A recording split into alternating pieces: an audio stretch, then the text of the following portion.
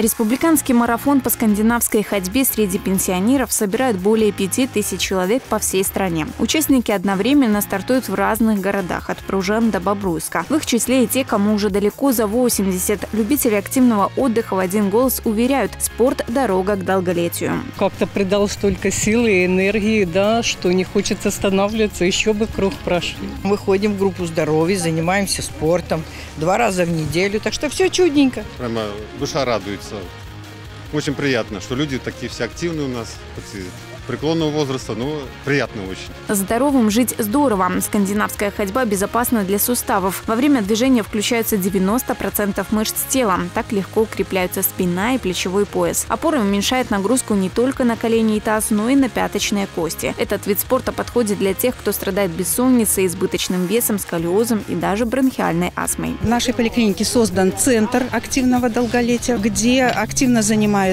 наше поколение старшее. Вот, поэтому мы приглашаем всех желающих в нашу поликлинику, кабинет номер 402 для занятия.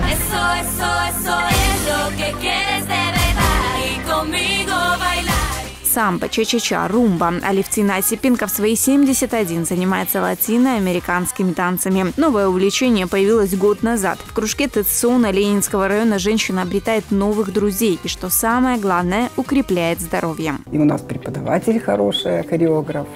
Юлия Вячеславовна. Вот, поэтому я очень довольна. И когда э, заканчиваются танцы, мы уже так под стираем лба пьем воду. Я думаю, вот хорошо, что я пришла, и настроение поднялось. Благодаря поддержке государства ни один пожилой человек в нашей стране не остается без внимания. Елизавете Жараховских 79 лет. Женщина живет одна, из дома практически не выходит. Отказывают ноги, болит спина. Два раза в неделю к ней спешит соцработник, приносит продукты, помогает по дому, покупает лекарства. Всегда все вовремя и то, что нужно. Как только вторник я уже на часы смотрю, говорю, господи, скорее бы Леночка пришла.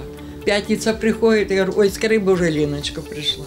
Это душа моя. Сегодня в Беларуси проживает более полутора миллиона человек старше 65. Каждый пятый продолжает работать. Статистика доказывает, жизнь с выходом на пенсию только начинается. В 2022 в брак вступили 1216 женщин и 1883 мужчины, которым исполнилось 60 и более лет. Ольга Васенда, Никита Александров, Дмитрий Шевцов, Станислав Чечерин. Итоги недели.